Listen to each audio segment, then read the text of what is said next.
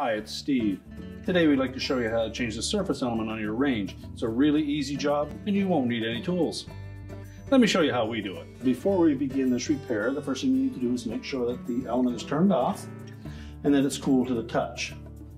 We're simply going to lift up on the end opposite the terminals and pull it out of the terminal block.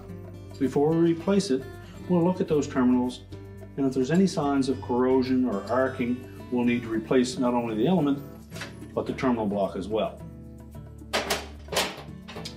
So we'll inspect our new element, make sure that the ends are straight, line it up with the terminal block, press it firmly into place, line up the tab with the slot on the drip bowl, and our repair is complete.